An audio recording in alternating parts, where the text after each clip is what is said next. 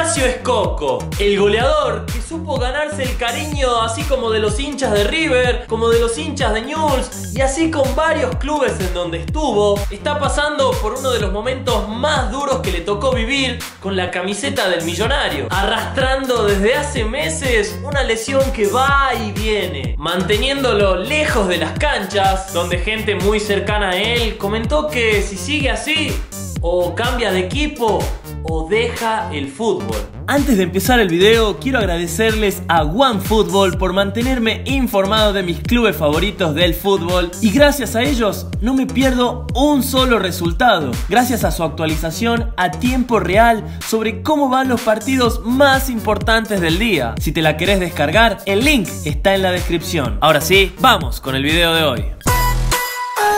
Nacho Escoco, el jugador nacido en 1985 que debutó en Newell's, club donde hizo las inferiores, con solo 19 años de edad. Jugó dos años en la Lepra y de ahí jugó en varios países como en México, Grecia, Emiratos Árabes, Brasil y hasta en Inglaterra, volviendo dos veces más a Newell's para en 2017 llegar oficialmente al equipo de Marcelo Gallardo, donde convirtió 28 goles en 58 partidos, casi un gol cada dos encuentros, encontrando en River una de sus mejores versiones como futbolista, pero a final del año 2018 el 3 de noviembre, para ser más exacto, duró 20 minutos en cancha, donde tuvo que salir del partido por un pinchazo en el gemelo derecho que lo dejó afuera de los dos partidos ante Gimnasia de La Plata, uno por Superliga y otro por Copa Argentina, y de la superfinal de Copa Libertadores ante Boca, cosa que le dio mucha tristeza al jugador. Aún así,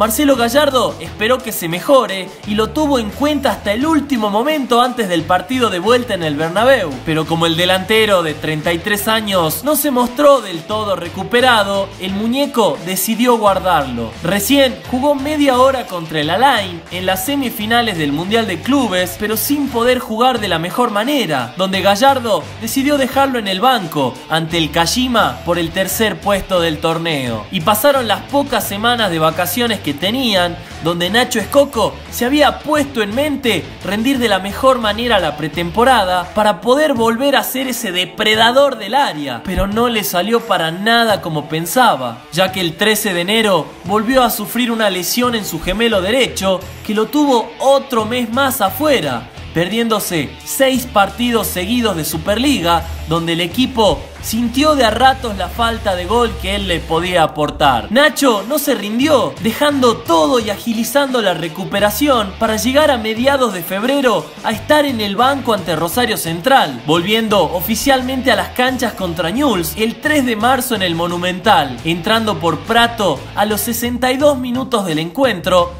donde se dio el lujo de gritar un gol de penal. El muñeco quería llevarlo de a poco, por eso estuvo en el banco por Libertadores ante Alianza Lima, decidió hacerlo salir de titular ante Atlético Tucumán, donde de hecho respondió muy bien, entró en los últimos 20 minutos del segundo tiempo contra Palestino y nuevamente estuvo en el 11 inicial desde el comienzo contra Independiente, donde nuevamente pudo hacer un gol. Y cuando todo parecía que volvía a la normalidad, el 21 de marzo las molestias volvieron a decir presente en la misma zona de la pierna derecha de Scocco. Y para que tengan en cuenta, desde su debut en 2004 nunca estuvo tanto tiempo parado por una lesión, por lo que el jugador está pasando hoy en día uno de sus momentos más duros en cuanto a lo físico en todo el correr de su carrera. Por el momento, Escoco está día a día luchando nuevamente para volver, tras medio año en el que convive con las molestias en su gemelo derecho, por lo que ahora se puso en mente recuperarse del todo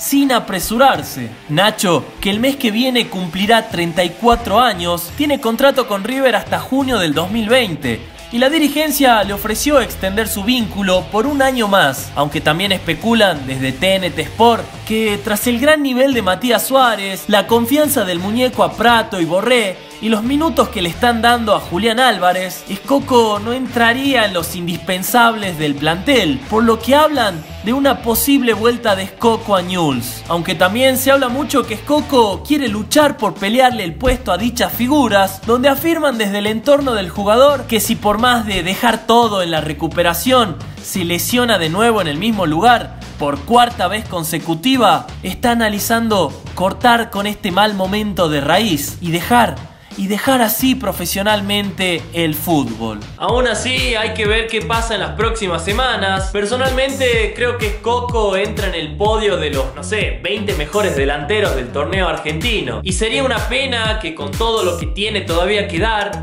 anuncie su retiro. No sé, ¿vos qué opinás? ¿Pensás que se va a poder recuperar? ¿Y qué decisión tomarías vos siendo Escoco? Decímelo aquí en la caja de comentarios, el lugar del debate, donde no puede faltar tu comentario o tu me gusta a una opinión que te haya parecido graciosa, interesante o con la que vos te sientas identificado. Y ya que estás, tampoco te olvides de suscribirte a este canal donde estamos a nada, a nada de llegar a las 200.000 personas y todo gracias a vos y tu aguante día a día. Y ahora me voy despidiendo. Mi nombre es Juaco y espero que hayan pasado un buen viernes. Nosotros nos estamos viendo hasta el próximo video. Nos vemos y chao.